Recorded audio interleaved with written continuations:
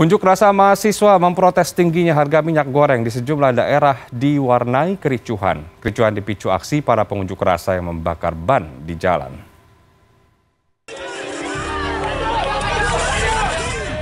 Mahasiswa berdemonstrasi memprotes harga minyak goreng yang tinggi di depan kantor DPRD Kota Malang Selasa siang. Para mahasiswa yang mendesak ingin menemui anggota DPRD di dalam gedung dihalau pihak aparat kepolisian. Pada mulut pun tidak terhindarkan. Kericuan kembali terjadi setelah pengunjuk rasa membakar ban bekas di Jalan Tugu. Polisi yang hendak memadamkan api dihalangi pengunjuk rasa. Selain memprotes harga minyak goreng, mereka juga menuntut Menteri Perdagangan dicopot dari jabatannya lantaran gagal menstabilkan harga minyak goreng. Yang menjadi latar belakang mencopot perdagangan ada dua.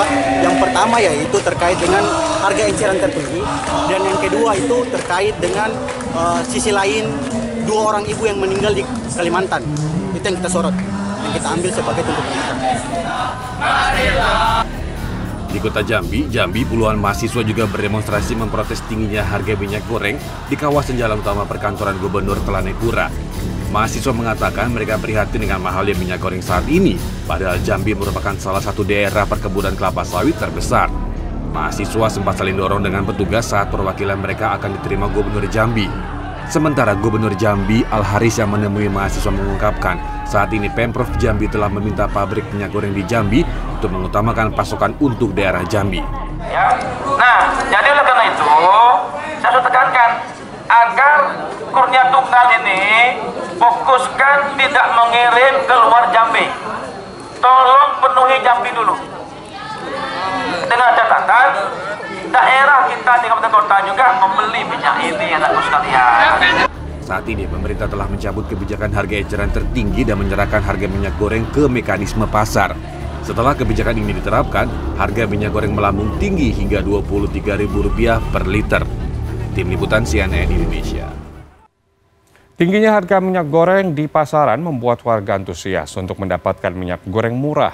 Di sejumlah daerah operasi pasar minyak goreng murah diserbu warga. Meski harus antri berjam-jam, warga mengaku sangat terbantu dengan adanya operasi pasar ini.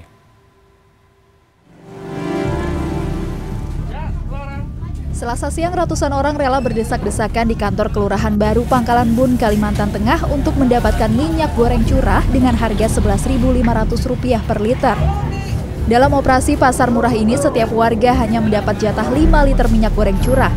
Warga pun harus membawa kartu keluarga saat membeli. Operasi pasar murah ini diakui warga cukup membantu menjelang Ramadan. Pasalnya harga minyak goreng kemasan di pasaran mencapai 48 hingga 50 ribu rupiah per 2 liter. Kami sebagai warga merasa terbantu sekali karena uh, kami selalu mencari di pasar dengan harga yang mahal Pak. Maklum ekonomi lagi seperti ini, jadi dengan adanya bantuan dari CDI ini, kami sebagai warga sangat terbantu sekali. Tingginya antusiasme warga membuat 3.000 liter minyak goreng yang disediakan panitia ludes terjual hanya dalam 3 jam.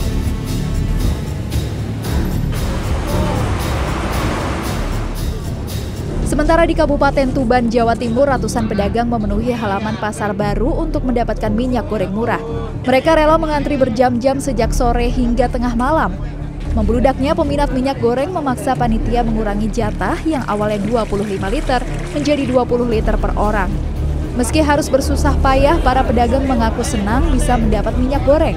Sebab kelangkaan yang terjadi selama ini sangat mengancam kelangsungan usaha mereka. Antri minyak, Pak. Minyak ya? Iya. Terus ini antri berapa lama ini, Bu? Udah tadi habis maghrib tadi, Pak. Hmm. Terus ini harganya berapa Bu per liter ini? 14 setengah.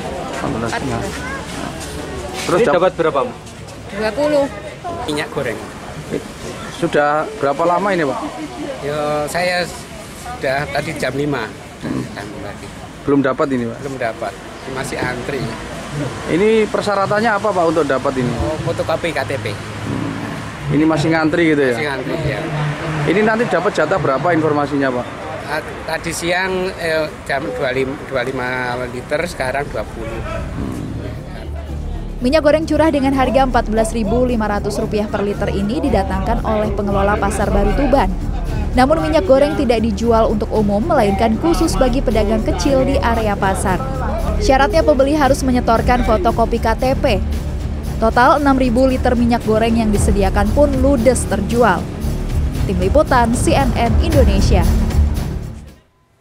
Tingginya harga minyak goreng membuat sejumlah pedagang makanan terpaksa mencari cara agar tidak merugi dengan menaikkan harga makanan per porsi. Sementara seorang produsen kerupuk di Kebon Jeruk, Jakarta Barat terpaksa menghentikan produksi dan kini terancam gulung tikar.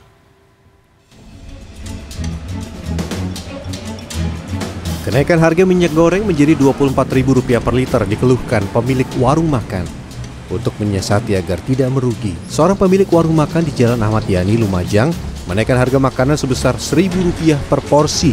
Harganya dinaikkan mas ya, karena susahnya minyak goreng. Kemarin inisiatifnya beli curah, ternyata curah juga enggak. Beli pun juga dibatasi. Pemilik warung makan lain di Jalan Brigjen Katamso Lumajang juga terpaksa menaikkan harga makanan sebesar Rp2.000 per porsi lauk. Keberatan banget Gimana untuk mensiasatinya, Mbak? Ya kita menaikkan harga saja. Tidak hanya pemilik warung makan, Rabu pagi, pabrik kerupuk yang berada di Jalan Asia Baru Kebonjuruk, Jakarta Barat juga terpaksa berhenti beroperasi setelah kenaikan harga minyak goreng curah dan langkanya pasokan di pasaran. Pemilik mengaku tidak sanggup jika harus beralih ke minyak goreng kemasan karena akan menambah ongkos produksi. Ya kita kalau memang minyak goreng ini nggak ada, kemungkinan kita tutup total gitu. Karena memang biaya produksi untuk memakai minyak kemasan kita nggak nggak menutupi kos pembiayaan gitulah. Tidak hanya minyak goreng, mendekati bulan Ramadan, harga sejumlah bahan pangan di sejumlah daerah di Indonesia juga merangkak naik. Selasa pagi harga daging sapi di pasar tradisional Ciledug, Kota Tangerang, Banten terpantau tembus Rp140.000 per kilogram dari sebelumnya Rp125 hingga Rp130.000. Sementara untuk ayam potong dijual Rp40.000 per kilogram atau naik sekitar Rp10.000. Yang jelas sekarang kondisinya sama aja sih, demo juga percuma. Harganya masih tetap mahal. Apalagi mendekati lebaran ini pastinya bakal di pasar Singaparna Tasikmalaya, Jawa Barat pada Selasa pagi, harga cabai merah naik menjadi Rp50.000 per kilogram. Bawang merah dan putih juga tembus Rp28.000 per kilogram dari semula sekitar Rp15.000. Sementara di Pasar Baru Kabupaten Tuban, Jawa Timur, lonjakan harga juga terjadi pada gula pasir, tepung terigu, dan telur ayam. Selasa pagi harga gula pasir terpantau Rp14.000 per kilogram, naik tiga kali dalam sepekan terakhir. Untuk tepung terigu kini dijual dengan harga Rp9.500 per kilogramnya atau naik sekitar Rp1.500. Sedangkan telur ayam telah menyentuh Rp24.000 per kilogramnya. Tim Liputan CNN Indonesia.